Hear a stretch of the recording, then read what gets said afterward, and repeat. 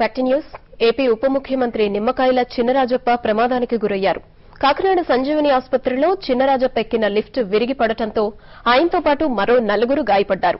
పెద్దాపురం మండలం Kattamuru Nekkanti sea foods ఫ్యాక్టరీలో gas లీక ఇరవై తొమ్మిది మంది మహిళా కార్మికులు తీవ్ర అస్వస్థతకు గురయ్యారు. వారందరికీ సంజీవని ఆసుపత్రిలో చికిత్స అందుతోంది. బాధితులను పరామర్శించేందుకు ఆసుపత్రికి వచ్చిన చిన్నరాజప్ప తిరిగి వెళుతోండగా వైర్ తెగిపడి మూడో ఫ్లోర్ నుంచి లిఫ్ట్ కిందికి జారిపడింది. చిన్నరాజప్పకు సంజీవని ఆసుపత్రిలోనే చికిత్స అందించారు. గాయాలు పైకి కనిపించినప్పటికీ ఉప ముఖ్యమంత్రికి బ్యాక్ పెయిన్స్ ఎక్కువగా ఉన్నట్లు తెలుస్తోంది.